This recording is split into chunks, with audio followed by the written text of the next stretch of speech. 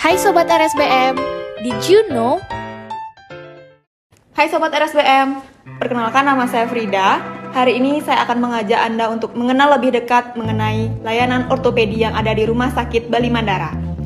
Hari ini saya kedatangan Dr. Kurnia, spesialis ortopedi, untuk memberikan penjelasan mengenai layanan ortopedi yang ada di Rumah Sakit Bali Mandara.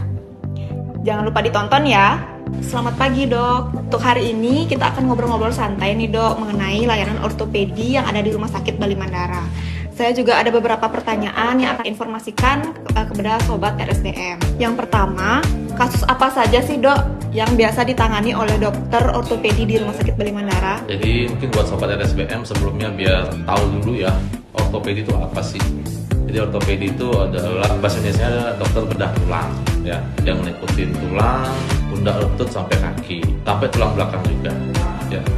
Jadi biasanya kita sayangannya sangkal putung, tukang urut. Contohnya kayak ke nenek kasus, kasus paling sering ya memang kasus patah tulang.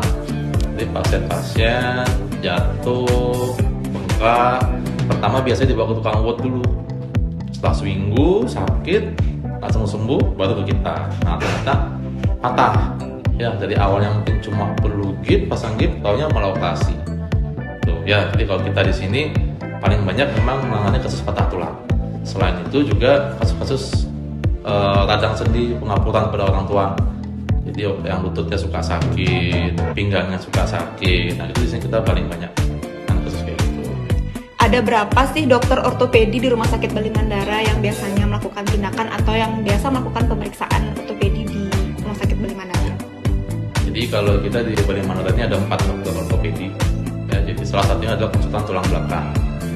Jadi eh, empat keempatnya ini paling sering nanganin kasus yaitu trauma, contohnya patah tulang, kemudian operasi pergantian sendi, sendi lutut, sendi pinggul, dan juga ada satu konsultan tulang belakang, khusus operasi tulang belakang, saraf kejepit, kemudian apa yang jatuh sampai bikin lumpuh, itu dapatnya di tulang belakang kita di sini.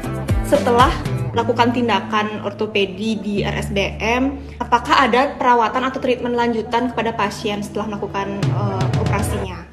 Jadi memang kalau namanya operasi biasanya ada istilahnya pre-operasi, selama operasi dan setelah operasi.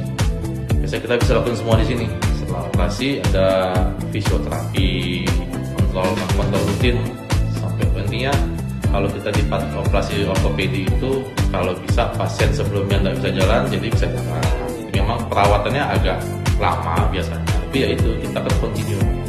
Dan kita jelasin ke pasien-pasiennya. Terima kasih banyak dok atas penjelasannya untuk Sobat RSBM mengenai layanan ortopedi di Rumah Sakit Bali Mandara.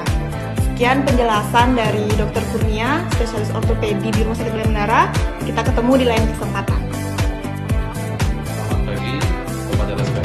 Nama saya Dr. Dewa Gede Kurnia Pratama atau dipanggil Dr. Kurnia. Saya adalah dokter spesialis ortopedi dan traumatologi atau bisa dibilang bedah tulang di RSUD Bali Mandara. Sobat RSBM, tidak lupa kami informasikan bahwa Rumah Sakit Bali Mandara selain menerima pasien umum juga menerima pasien BPJS Kesehatan sesuai kelas tanpa iur biaya dan juga menerima pasien BPJS Ketenagakerjaan, Jasa Raharja, dan asuransi swasta lainnya. Untuk informasi lebih lanjut, silahkan menghubungi nomor di bawah ini.